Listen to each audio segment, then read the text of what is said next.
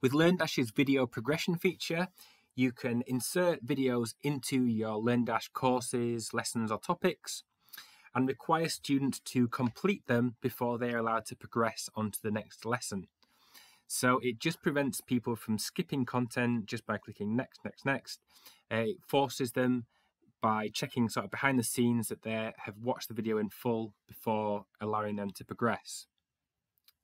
So I'm on a LearnDash lesson here. I'm going to go to edit lesson and insert a video uh, using the video progression feature. Now we have our content here, but the video progression is added in a slightly different way. We head to settings and then enable this video progression option here. We can add the video URL and that might be from YouTube or Vimeo or any other sort of um, supported video uh, hosting provider. I'm just going to use one from Vimeo here.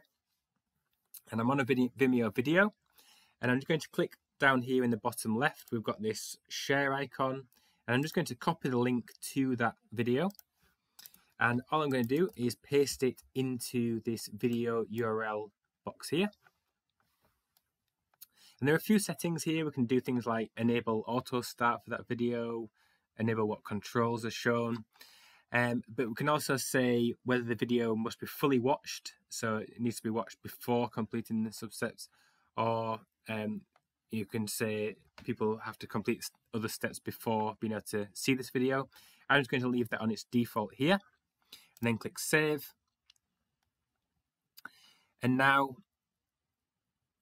once it's saved, if we view the lesson, we can see that we have this video, and as I'm logged in as an admin, I can skip lessons anyway. This the, the video progression doesn't actually affect admins, it only affects the students.